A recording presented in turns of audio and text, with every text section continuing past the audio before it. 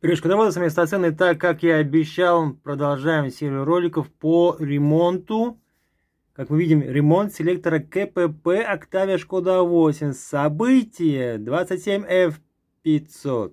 Данная инструкция добыта мною из недр Чехословакии. Короче, наши люди, ну, как говорится, пришлось заплатить, но информация стоит денег. И самое главное, хрен кто вам ее даст, потому что эта информация позволяет многим теперь брать с простых людей по 10 тысяч рублей за ремонт, который длится всего 10 минут. Я готов вам все это рассказать, но не просто так, товарищи, а лишь за просмотры.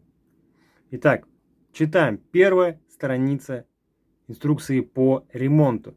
Данная инструкция применима, когда в регистраторе событий момент первичной диагностики присутствует следующее событие. Как я и сто раз говорил, сначала делаем диагностику.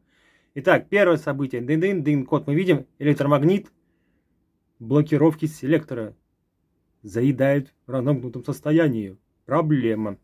Дополнительно могут присутствовать события. Недостоверное переключение коробки передач. Не включается парковочное положение.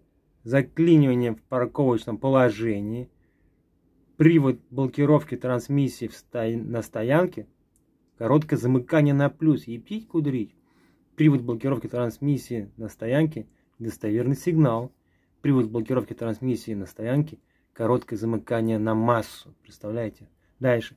В случае наличия других событий, тенденным позвонить через ДИС, службу технической поддержки импортера и получить инструкции. Но вы не позвоните, никто не потому что Чехословакия против нас. Вторая страница. Ремонт селектора передач. Первое действие. Демонтировать накладку селектора с кулисы селектора дын согласно курсу по ремонту Эльза Про. Рисуночек видим. Что видим дальше? Дальше мы видим действие номер два. Демонтировать соленоид из крышки. Но, товарищи, все, что делать дальше, вы увидите лишь на канале Яндазен Стасен. Потому что YouTube к нам агрессивно настроен и блокирует некоторые мои видео. В связи с тем, что у меня есть своя точка зрения на некоторые события. Но и как всегда, наша точка зрения самая правильная. Потому что наш канал, канал Стасен, только обладает грамотной и полезной информацией для людей. Поставьте лайк, подписка и Подписывайтесь на канал Яна Зенстасен, потому что только там будет эта информация. Потому что эта информация не должна попасть в плохие европейские руки, потому что они там, у них нету, нету этих данных.